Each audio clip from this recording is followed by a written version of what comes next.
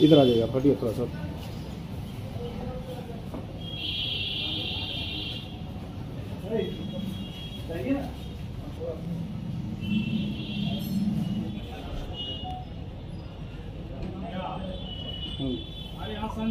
अगर आप शादी ब्याह में डीजे करने की सोच रहे हैं तो आप एक बार इस खबर को ज़रूर देख लें। ये आपके लिए ज़रूरी है।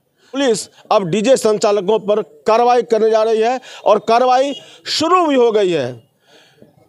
एसपी योगेंद्र कुमार ने बताया कि जिस तरह से डीजे के साउंड पॉल्यूशन से लोगों को परेशानी हो रही है, वैसे में अब इन डीजे संचालकों पर कार्रवाई शुरू कर दी गई है।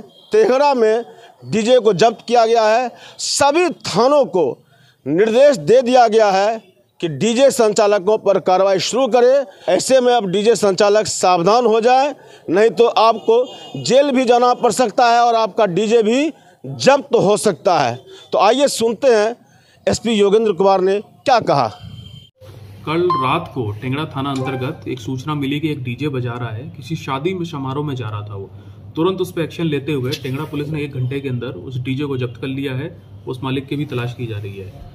देखिए, जब से ये शादियों का सीज़न शुरू हुआ है, हम लोग को लगातार पुलिस कंट्रोल रूम पे सूचना मिल रही है कि शहर में, गाँव में डीजे बजाते हैं, जिससे कि रात को खास तौर पे जो वृद्ध व्यक्ति हैं हार्ट के जो पेशेंट हैं, उनको बहुत दिक्कत हो रही है और हेल्थ के लिए उनकी एक बड़ी समस्या भी बन गया है। बच्चे भी ये बताते हैं एग्ज़ाम का एग्ज़ाम का सीज़न है कॉम्पिटेटिव एग्ज़ाम है, पढ़ाई करने में बड़ा बाधा हो, बाधा उत्पन्न हो रही है।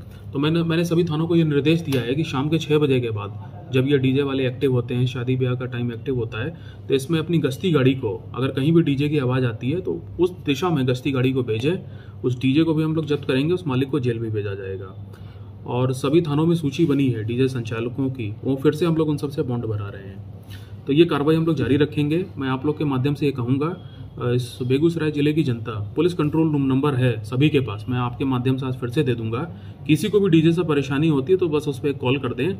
एक घंटे के अंदर पुलिस जाकर डीजे को जब्त करेगी। और पिछले बार हम लोगों ने बड़े पैमाने पे करीब 50 से 60 डीजे जब्त किए थे जब त्यौहार सीज़न चल रहा था। लेकिन अभी क्या है कि सर्दियाँ आई हैं और फिर से जो शादियों का सीज़न तैयार चालू हुआ है तो फिर से ये शिकायत आ रही है। कई बार ऐसा होता है कि नए लोग जो होते हैं वो नए नए डीजे खरीद के ले आते हैं इस बिज़नेस में एंटर कर जाते हैं। लेकिन उनका धंधा चलने से पहले ही पुलिस कार्रवाई करेगी सबको बंद कराएगी। किस तरह की कार्रवाई करेगा सर इन, डीजे संचालकों पर? एक तो है कि इनका डीजे सीज, सीज हो जाएगा जब्त कर लिया जाएगा थाने में खड़े हो जाएगा। दूसरा है कि जिन डीजे वालों से पहले बॉन्ड भरा रखा है, अब या तो उनको पाँच लाख रुपए की राशि जमा करनी पड़ेगी, नहीं तो वारंट उन पर निकलेगा। तीसरा है लाउड स्पीकर एक्ट में एफआईआर दर्ज होगी, गिरफ्तारी करके इनको जेल भेजा जाएगा और लंबे टाइम तक इनको जेल में रहना पड़ सकता है। और जेल से छूटने के बाद भी इनको थाना पे हाजिरी लगानी पड़ेगी।